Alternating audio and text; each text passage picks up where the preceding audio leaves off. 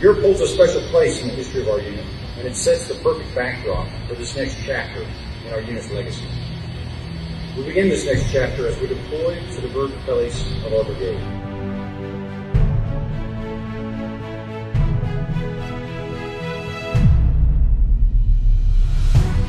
On April the 16th, 1986, this combat aviation brigade was born in Ansbach, Germany. The iron patch we all wear on our shoulders is a well-known symbol of both in Germany and throughout Europe. It symbolizes the power and spirit of the United States Army's premier fighting force, the 1st Armored Division. Our allies and partners know this. Our adversaries know this. And upon completion of the Army's ninth rotation to Atlantic Resolve, the world will know this. The Iron Eagle Combat Aviation Brigade is ready.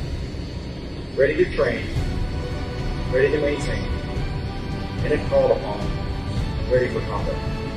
Iron Eagles, Iron Soldiers, Iron Strong.